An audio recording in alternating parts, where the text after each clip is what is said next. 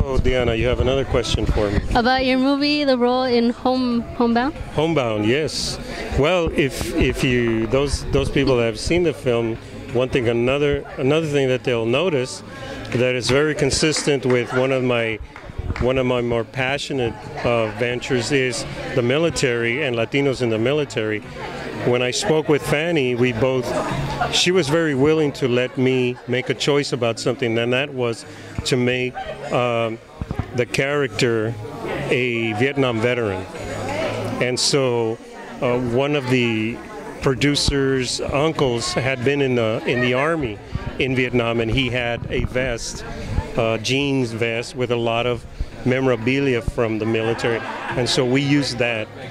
We never said that he was a veteran. We never said, you know, what he did in the war, whatever.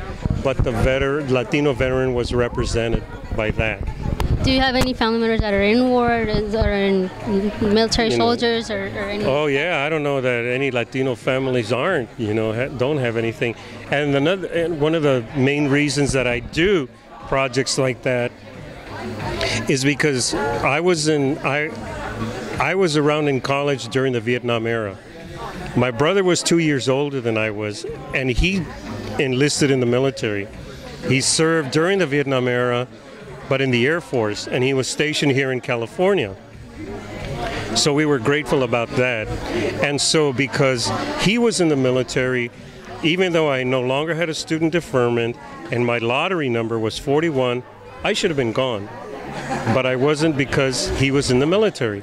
And so a lot of the work that I do, I do it because of my appreciation for what my brother and a lot of other guys did that I didn't have to do.